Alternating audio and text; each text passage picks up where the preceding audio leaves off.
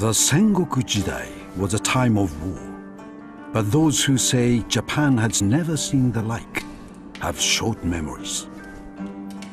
Long before the Ashikaga shogunate, 400 years of peace were shattered by the Genpei War.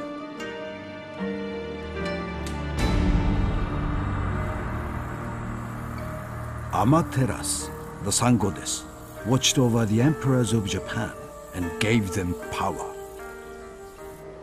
Their authority was absolute. An emperor could retire from the world and still have complete mastery over Japan. But now, imperial might is crumbling, weakened by three noble families. For many years, the Taira have secretly controlled the imperial court. Sophisticated, cunning, ruthless, they plot against any challengers to their hidden power.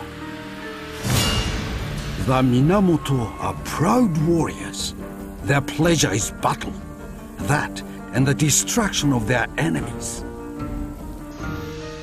The Fujiwara were once the most powerful family in Japan, but now they only dream of power.